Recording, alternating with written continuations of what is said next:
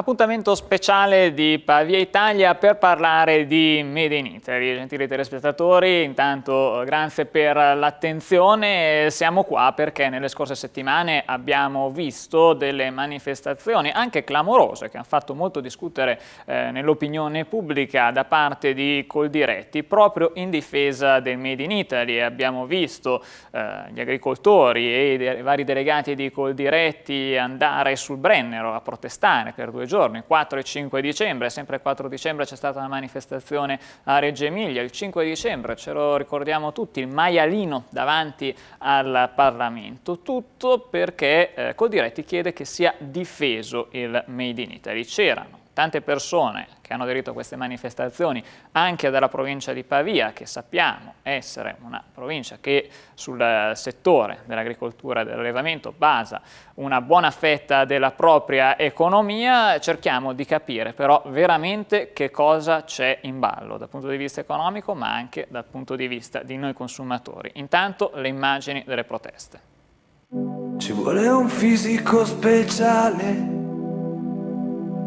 per fare quello che ti pare. Perché di solito nessuno vai bene così come sei. Tu che cercavi comprensione, sai, comprensione, sai. Ti trovi in competizione, sai, competizione, sai.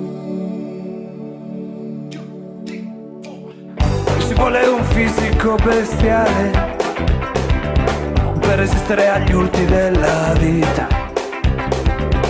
Ma quel che leggi sul giornale e certe volte anche alla sfiga. Non ci vuole un fisico bestiale, sai, speciale, sai, anche per bere e per fumare, sai, fumare, sai. Ci vuole un fisico bestiale perché siamo sempre ad un incrocio. O sinistra, destra oppure dritto. Il fatto è che è sempre un rischio. Insomma, è chiaro che all'interno di questa Europa che considera un po' il nostro paese eh, come la figliastra eh, non ci troviamo bene, noi nei giorni scorsi eravamo al Brennero, eravamo mobilitati in tutta Italia per dire no all'Europa che vuole a tutti i costi imporci le proprie regole e che soprattutto nell'agroalimentare non ci mette nelle condizioni di fare trasparenza. Noi non abbiamo chiesto la chiusura delle frontiere, abbiamo semplicemente chiesto che dall'Europa arrivino dei prodotti che siano riconoscibili sugli scaffali dei nostri supermercati. Oggi la nostra agricoltura è in crisi, ma proprio perché viene messa in competizione con prodotti che arrivano dall'estero che non sono etichettati, per cui il consumatore non è nelle condizioni di poter scegliere il Made in Italy che tutto il mondo ci invidia. Così quindi il direttore di Coldiretti Pavia. Io vi presento le nostre ospiti che sono qua in studio con noi e sono Anna Maria Seves che per Coldiretti Pavia era responsabile della sicurezza alimentare e non solo perché eh, ti occupi anche di scuole, formazione, eh, avremo modo di eh, parlarne. Poi Silvia Manna, delegata provinciale Giovane Impresa Coldiretti, cioè rappresenti tutti i giovani che eh, resistono ancora e fanno e vogliono eh, lanciarsi in questa avventura di fare impresa in questo, in questo fondamentale settore. E Silvia, io partirei proprio da te perché sì. eh, direttore, eh, direttore Roncalli ha detto una cosa importante, non vogliamo chiudere le frontiere, però a, a Brennero all'inizio dicembre eravate in tanti, eravate anche imponenti come massa colorata, gialla, sicuramente sì. è un colore simpatico, però tra tante, manifestazioni, tra tante manifestazioni che vediamo in questi giorni di eh, persone che bloccano strade, eccetera, la domanda è intanto se uh, avete effettivamente bloccato la frontiera e poi se allora. volete bloccarle anche in linea sì. ideale. Allora, mh, non abbiamo bloccato i tir, eh, noi abbiamo affiancato la Guardia di Finanza e NAS durante la loro normale attività di controllo che fanno quotidianamente, quindi è stato un, una sorta di, di amichevole affiancamento. Eh, quello che chiediamo non è che vengano eh, chiuse le frontiere o che ci siano dei dazi eh, o che si ritorni ad un regime protezionista, eh, questo assolutamente no. Quello che noi chiediamo è che ci sia trasparenza e che quindi eh, nelle etichette sia indicato precisamente l'origine delle materie prime dei prodotti. Eh, questo oggi non è così, ma il consumatore ha il diritto eh, di sapere quando va a fare un acquisto di poterlo fare in maniera consapevole. Questo è possibile solamente con una chiara tracciabilità e quindi con questa indicazione in etichetta. Ecco Silvia, tu parli eh, principalmente dal punto di vista dell'impresa, io parlo dal punto di vista del consumatore. Sono anche io in realtà. Naturalmente se, come, come, tutti siamo, siamo, consumatori, io però volevo anche sapere, magari eh, chiedo a Anna Maria, ma noi consumatori corriamo dei rischi, eh, che cosa c'è in ballo? Beh, sicuramente l'acquisto di un prodotto italiano è una garanzia di qualità ma anche di grande sicurezza alimentare perché i controlli sull'igiene degli alimenti e sulla sicurezza degli alimenti che ci sono in Italia non ci sono in nessun altro paese europeo. Quindi il prodotto italiano è assolutamente una garanzia per il consumatore. Abbiamo più controlli così? Assolutamente, Quindi molti più controlli. Noi siamo più tutelati, noi, noi che acquistiamo da questo, da questo punto di vista. Certo. E naturalmente, naturalmente l'azienda ha più spese perché se ci sono più controlli bisogna garantire anche questa sicurezza e quindi anche l'impresa, l'azienda eh, deve seguire delle regole molto precise, cosa che negli altri paesi europei non accade, o ecco. non in tutti. Parliamo di, di, costi, Silvia, ma il falso Made in Italy quanto vale? Tantissimo. Falso Made in Italy oggi vale 60 miliardi di euro l'anno, soldi che ci vengono di fatto rubati e che potrebbero entrare nelle casse eh, delle nostre imprese, del nostro Stato e che in qualche anno sarebbero in grado di probabilmente rimettere a posto la situazione gravissima nella quale ci troviamo. Eh, il deficit tornerebbe probabilmente a, a riposizionarsi se, eh, se, appunto questi soldi non venissero poi di fatto rubati, tra virgolette, ma così accade. Ma adesso ci sono uh, delle, delle, leggi che in qualche maniera tutelano il consumatore? Eh, Diciamo che una legge esiste del 2011, il problema è che non esistono i decreti attuativi che permetterebbero di far sì che entri in vigore. Eh, di conseguenza per alcuni prodotti esiste una normativa, per altri prodotti no, ad esempio il suino, eh, i trasformati. Eh, questo oggi non, non, accade, quindi il consumatore non ha la possibilità realmente di andare a eh, capire da dove proviene la materia prima di capire da, da, dove arrivano, però io adesso faccio un po' eh, l'avvocato del diavolo. Anna Maria, qualcuno ha detto che eh, non produciamo abbastanza in Italia per accontentare tutti, tutti i consumi, che tipo di discorso è? Eh, sì, in realtà è stata detta questa cosa, molte nostre aziende purtroppo stanno chiudendo perché in realtà eh, come lo spiegavo anche prima, i nostri costi di produzione sono alti e in realtà i nostri produttori la materia prima viene pagata con uh, cifre che non sono neanche sufficienti per pagare i costi e nonostante il nostro prodotto sia qualitativamente e dal punto di vista igienico-sanitario sicuramente superiore rispetto a quello che viene importato. Però questo il consumatore non lo sa, perché quindi quando io vado ad acquistare un prodotto eh, venduto come prodotto italiano, non so se la materia prima, se stiamo parlando per esempio di salumi, arriva dalla Germania, dall'Olanda o dalla Repubblica Ceca. Io so solo che questo prodotto ha un marchio italiano. Ma quindi potenzialmente potremmo produrre, produrre, di più, poi non lo facciamo perché i costi, perlomeno il mercato, anche per questi eh, aspetti normativi che voi contestate, non riesce ad autofinanziarsi. Non lo facciamo perché in realtà è meglio comprare all'estero perché costa di meno all'industria. Ah, meglio... A chi fa trasformazione costa meno comprare all'estero. È meglio comprare all'estero. Però c'è qualcuno che fa il furbo oppure Silvia è comunque tutto legale?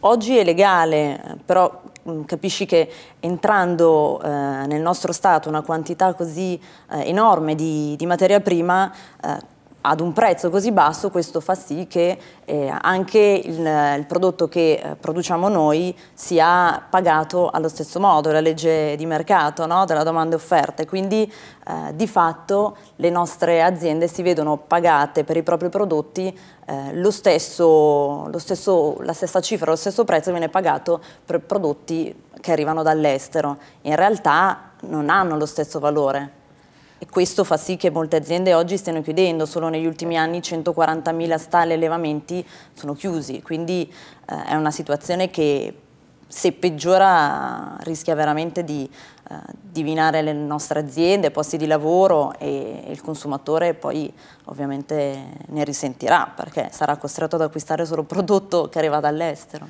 Ma ne arriva davvero così tanta di merce dall'estero? Perché sì. mh, tra le varie cose che si sono dette in questi due giorni, in quei, in quei due giorni di eh, protesta, qualcuno ha detto sì, però sono stati lì due giorni, eh, alla fine hanno trovato soltanto tre prosciutti che mm. venivano dalla Germania. Camion, che... No, in realtà non è proprio così. I camion fermati sono stati 120 circa. Um, teniamo conto, io so, tra l'altro ho avuto modo di partecipare in entrambe le giornate, um, che al, al confine c'erano file infinite di camion che stavano aspettando che terminasse la nostra protesta per poter varcare il confine. Eh, quindi la quantità di prodotti che sono arrivati in Italia eh, sono comunque eh, una cifra irrisoria rispetto a quello che in realtà arriva tutti i giorni. Poi eh, ho avuto modo di constatare anche che eh, lateralmente c'era una ferrovia che, tras che, trasportava con tantissimi container eh, contenenti, contenenti appunto materie prime provenienti dall'estero, la, la, quantità di, di cibo che arriva è veramente enorme. Ma eh, noi come possiamo tutelarci, Anna Maria? Perché le etichette in una qualche maniera abbiamo capito che ci sono, anche se poi c'è questa legge che ancora non, non, può entrare in vigore perché mancano dei pezzi, possiamo, possiamo dire così, però le etichette, le etichette ci sono. Spesso non sono così comprensibili forse. E intanto il consumatore non è tanto abituato a leggere bene le etichette. Sappiamo che eh, circa il 6% dei consumatori conosce per esempio i prodotti DOP, di denominazione origine protetta. Questi prodotti sono già una garanzia di un prodotto al 100% italiano, perché proprio perché per questi prodotti esiste un disciplinare, eh, la denominazione di origine protetta prevede che tutte le fasi dall'allevamento alla trasformazione al confezionamento avvengano nel territorio di origine e quindi già se noi acquistassimo prodotti a marchio DOP sapremmo che questi prodotti sono al 100% italiani. Però in realtà non tutti conoscono questi marchi, quindi bisognerebbe sicuramente eh, che il consumatore fosse più informato e che imparasse molto di più a guardare l'etichetta.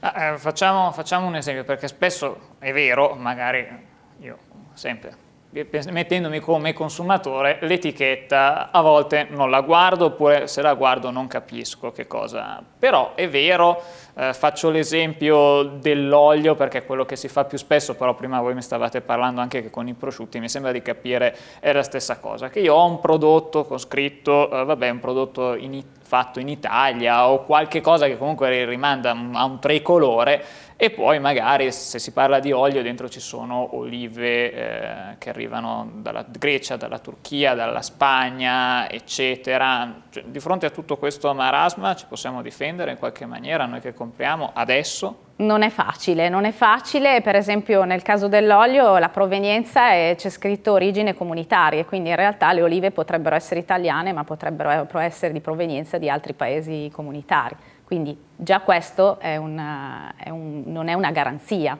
Io non sono sicura di aver comprato un olio fatto con olive italiane in questo modo.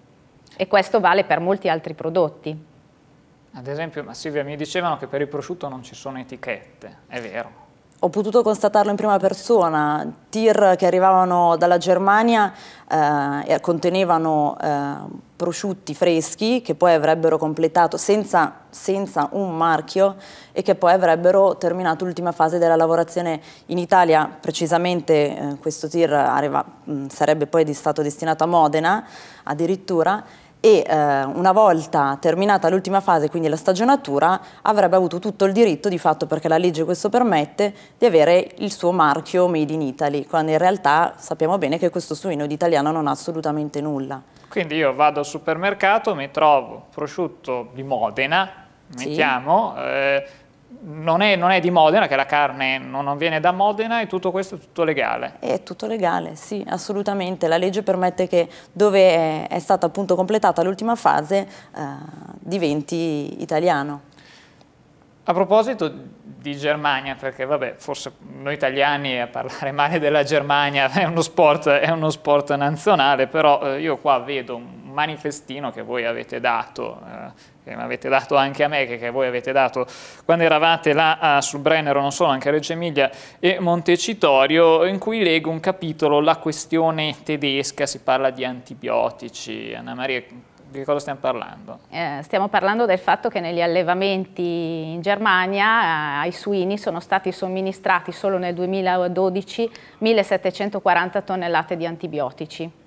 E, e, questa è una cosa che poi si ripercuote sulla nostra salute perché alla fine questi suini diventano salumi e noi li andiamo a comprare e li mangiamo e quindi alla fine gli antibiotici finiscono a noi e questo assolutamente non è, non è certo un vantaggio per il consumatore, solo che il consumatore questa cosa non la sa. In realtà, come dicevo prima, nelle nostre aziende ci sono dei controlli igienico-sanitari che non permettono questo. Su questa questione degli antibiotici, perché insomma, mi, personalmente mi allarma un po' perché io eh, sto sempre attento a prendere gli antibiotici soltanto quando sto davvero male, perché poi so che se ne prendono tanti non fanno, non fanno più effetto poi con il, con, il passare, certo. con il, passare, degli anni. Adesso io non, non voglio accusare nessuno, non chiedo se è legale, se non è legale, quanto è rischioso per la salute, eh, però noi in Italia con i suini che, fa, che alleviamo in Italia, vediamo anche noi così tanti Assolutamente questo non è possibile in Italia, tra l'altro noi abbiamo dei controlli molto accurati non solo sulla gestione dei farmaci nei, negli allevamenti ma anche sul, sui mangimi che somministriamo agli animali, cioè eh, anche i mangimi devono essere controllati, certificati, stoccati in silos idonei puliti, questo proprio a garanzia della salute dell'animale e la salute dell'animale è anche la salute del consumatore. Ecco, esaurendo un po' un'altra cosa che avevo notato su questo, su questo, volantino, Silvia, io qua vedo un paragrafo dedicato agli, agli inganni, si parla di soldi destinati all'agricoltura, facilitazioni che in qualche maniera con questi procedimenti vanno forse a chi non se li meriterebbe, diciamo sempre che però è tutto legale.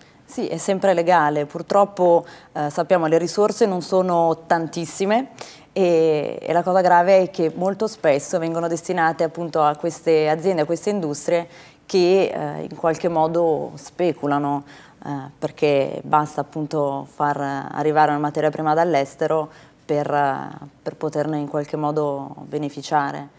Eh, Ma io, è un inganno questo. Da questa, da questa chiacchierata, quello che vorrei anche capire di chi è la colpa? Perché poi alla fine qualche cosa bisognerà tirare fuori, cioè è colpa delle aziende che fanno un po' le furbe, è colpa eh, di noi che quando compriamo non andiamo esatto. a vedere, eh, la comunità europea, il governo italiano? È colpa un po' di tutti.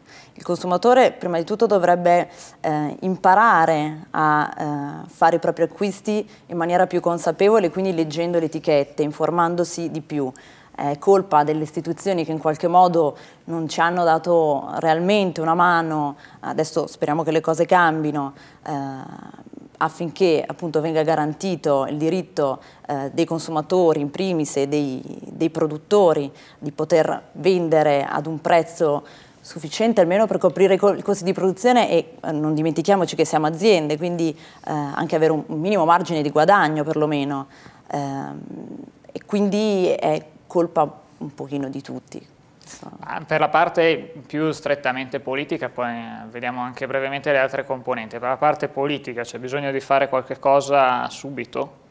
Sì, chiediamo che, che, appunto, che ci siano questi decreti attuativi e che eh, si riesca in qualche modo a, eh, a garantire un'etichetta più chiara questo lo stiamo chiedendo alle istituzioni, noi continuiamo la battaglia, non termina qui eh, col Brennero ma andremo avanti e, e, speriamo, ma siamo abbastanza convinti che piano piano eh, già anche il nostro ministro sembra eh, andare nella nostra... Sì, sì, sì, sì, il nostro ministro Nunzia De Girolamo eh, ascolta, ha un rapporto abbastanza eh, vicino a, a Coldiretti ma alle organizzazioni sindacali agricole in genere. Quindi Anna Maria, riassumendo un'etichetta a prova di stupido e a prova di inganni. Assolutamente, un'etichetta trasparente che permette al consumatore di fare una scelta consapevole. Io acquisto e so da dove viene anche la materia prima con cui è fatto il prodotto che acquisto.